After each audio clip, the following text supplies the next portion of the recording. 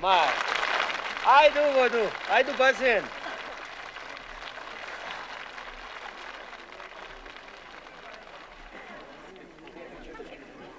Čekam da mi skrojiš jedne gaćice, bile i zelene sa crvenim strilicama. Rekam ti sad da smije ti ja ugovnit, ali ne smijem jer ćeš postati ministar pa bi mi se mogao svet. Šalja se. Je li istina? Šala. Šala moje, Marko, je potrebna kakru. A tako je. Zato ti ješ čov kipo. A mi drugi nas dobro džava i odnija. E, ali mi smo zadovoljni bez one polovice. Ma i tebi će neko skuvat poparu, ne boj se, svice okriće.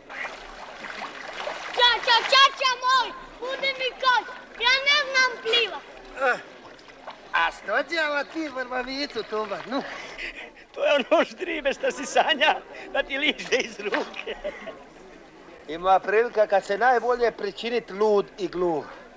Kako te đava ne bi